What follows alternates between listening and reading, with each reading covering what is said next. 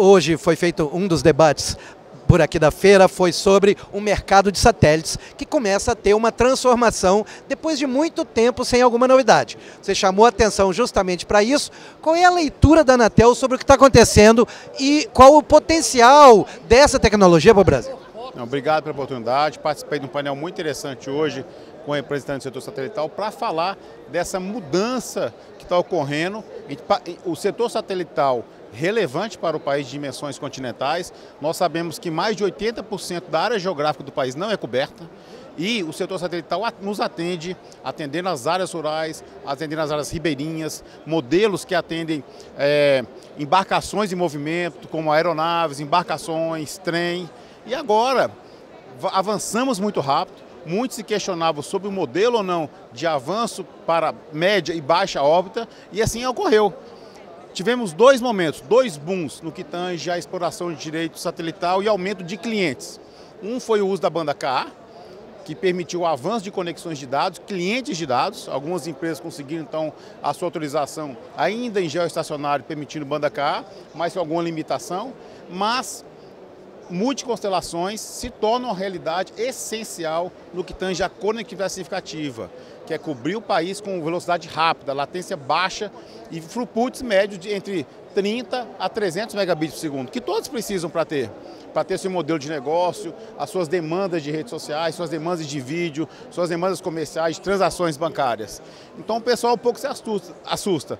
Uma empresa, determinada empresa, apostou milhões de constelações num modelo simplificado que a Anatel adotou, mas respeitando as coordenações e não interferência, pulou, conseguiu quase 100 mil assinantes em, em, em poucos meses.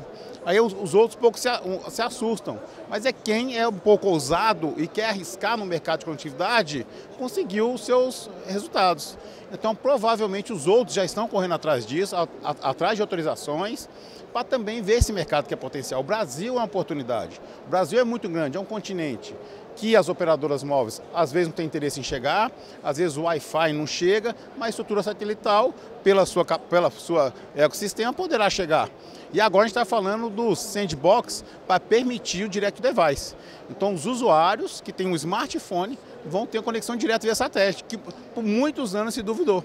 Então hoje está falando que o setor satelital é mais sexy do que era do espectro do móvel, né? Então está essa brincadeira agora no setor. Agora, isso faz um sacode em empresa, porque a Anatel tem um histórico de, muito, há, há, muitos anos atrás, várias empresas foram pedir espectro, mas esse espectro acabou na gaveta, né? É isso, é isso que a gente fala, o pessoal vai lá, briga para a gente ser ter uma simplificação regulatória, não ter custos, a gente está fazendo isso. A gente permite o espectro, a gente permite a coordenação, autorizou todos os pedidos de exploração, seja de gel, seja de multiconstelações e baixa óptica. Só que às, às vezes falta alguém apostar em modelos de negócio mais ousados. E assim aconteceu também com a parte do espectro. Hoje a gente demo, demonstramos um dashboard de ocupação espectral. As empresas falam assim, não tem espectro para usar, seja no modelo de ISPs e SLPs. A gente fala assim, não, temos vários lotes disponíveis, só que às vezes falta alguém mostrar, gente, vamos fazer o integrador para mostrar uma solução fim a fim e falar, Anatel tem espectro, é só solicitar em caráter secundário ou em sandbox e dar modelos de conectividade, modelos de negócio que o país tanto precisa.